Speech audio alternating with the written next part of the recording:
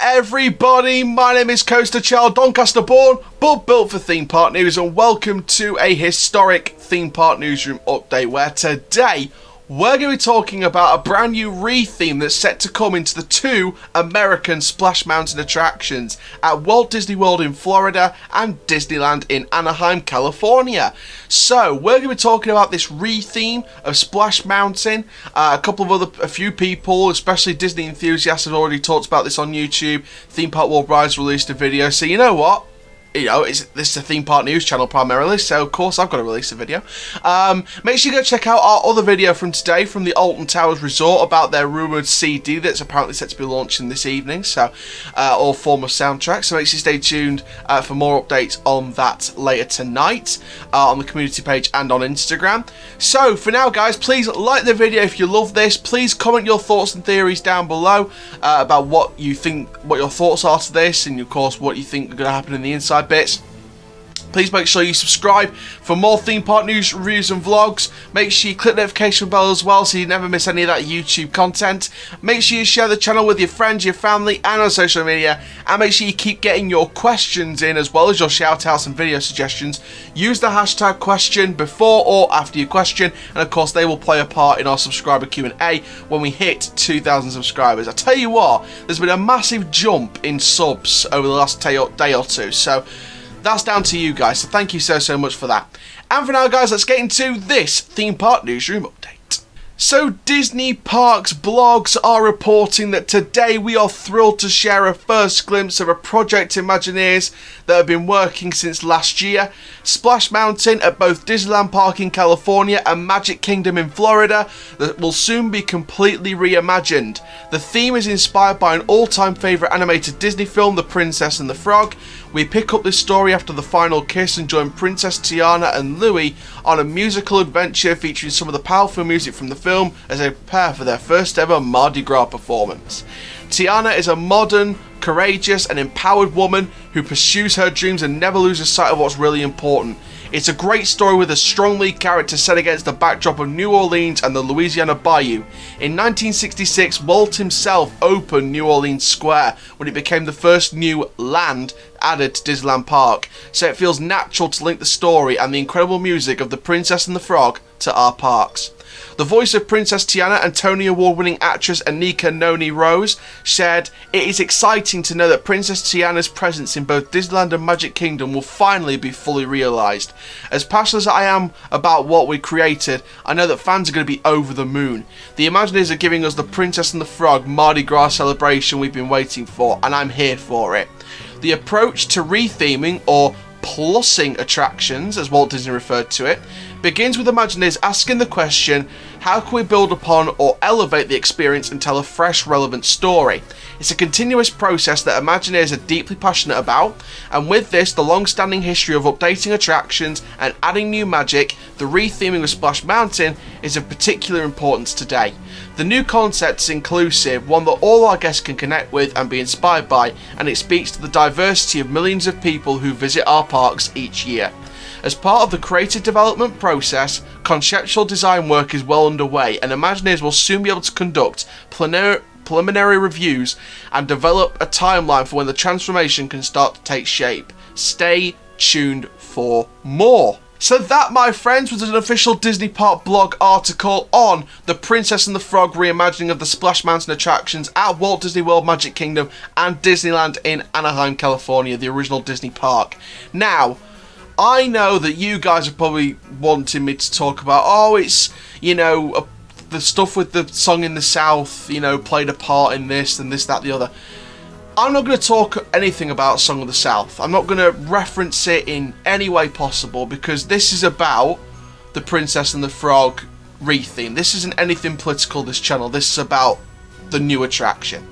Um, and you know what? And to be fair, I've looked on the forums and I've looked what people are saying, and you know what? People actually make sense when they say that um, the the ride needed a retheme or some kind of refresh for a good year or two now.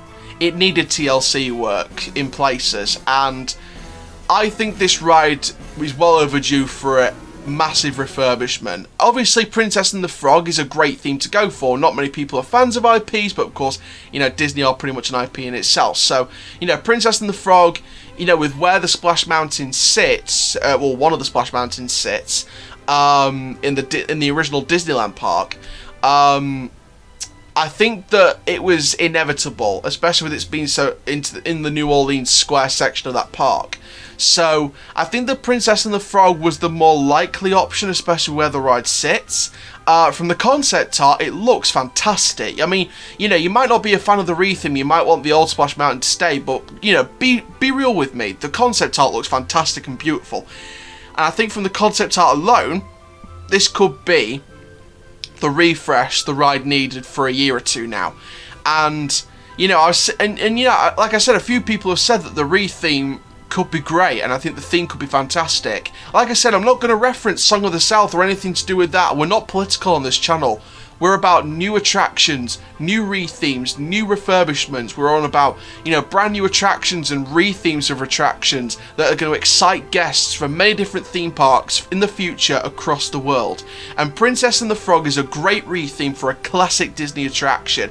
Obviously, you couldn't keep the original theme of Splash Mountain for long. You know, you could refresh it in some ways, of course, but, you know, if you wanted to do incorporate one of your original stories into uh, one of your Disney stories or one of your modern Disney stories into the park, you know, if you're running out of space for things, then you've got to refurbish old attractions. And Splash Mountain has needed a retheme for a year or two now, from what I've seen over the past couple of years. So, you know, in places they need a TLC, and yes, you could have kept the Splash Mountain theme and you could have refurbished it quite a bit. However, I think that if it was to be a full retheme, which it will be now, uh, I think the Princess and the Frog is the right thing to go for. Now, I replied to a comment uh, on another video, I think, or somewhere else. Uh, either on Instagram or YouTube, I'm not too sure, I can't remember. It was yesterday. I can't remember yesterday. Uh, I finished a Carling beer. Uh, um, but I do remember saying that one of the things I'd love to see in terms of indoor sections is a like playing the music for friends on the other side. Yes, it's you know, the, like I said, the story is continuing after the end of the film, so it's continuing as part of like an extension story. Like you know, you know, like you see those Disney films, and then you get like a like a mini short story. Look at Pixar. Look at the um, look at the Toy Story, and you get these little Toy Story Toons afterwards, you know, after the film and that, um, as a little mini series. It's kind of like that. Like it's following on from the main story and it's creating its own sub story to the end of the story to carry on the franchise with this brand new attraction. So, you know, you could include songs from the film, you know. So, one of my ideas was Friends on the Other Side, instrumental, or maybe like the original vocals as well. Um, obviously, with you know Tiana, very excited. The actress playing Tiana, Anika Noni Rose, uh, very excited about this. Um, you know that could you know confirm that her voice is in this. Uh, and I think that other other actors' voices could be in on this. And I think that if you did instrumental or vocal of Friends on the Other Side, one of my ideas for the one of the indoor scenes is to have um, like projection mapping of the magic, and it's like you're being transformed into the frog as you follow them on the adventure, and they get transformed back into a frog. Uh, so, you know, I think it's nice to have the friends on the other side, have some like really good lighting packages, um, great magic projection mapping as you go through on the indoor section. Then you come out and you get like an audio say, "Oh no, we've been turned into frog again." Uh, we'll have to, you know, fight our way through the forest to get back to human life. Um, so I think there's a real opportunity creatively in terms of creative potential for a good story here. Uh, and from the sounds of it, they're going to have a great story with the first ever Mardi Gras celebration. So they're really tying it into the New Orleans, which I really, really like about this attraction.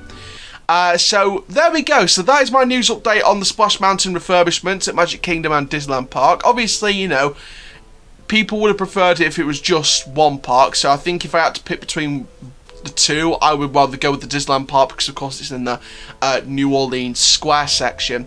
But of course, the Magic Kingdom part, that's going to be another different story. You know, what's going to happen to that section of Frontierland? You know, is Big Thunder Mountain Railroad going to be rethemed as a Phase Two in a couple of years' time or a few years' time after uh, the Splash Mountain refurbishment opens? Is is this going to be like uh, the end of front, not not really the end of Frontierland, but like the end of that section of Frontierland. Like transform that into a New Orleans uh, square. Uh, so there's still a lot of questions still unanswered.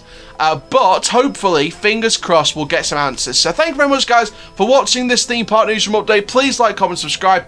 And for now, guys, my name is Coaster Chall, Kill on the Coast Life, and I'll see you guys in the next video very, very soon. Take care, guys. Have an awesome day.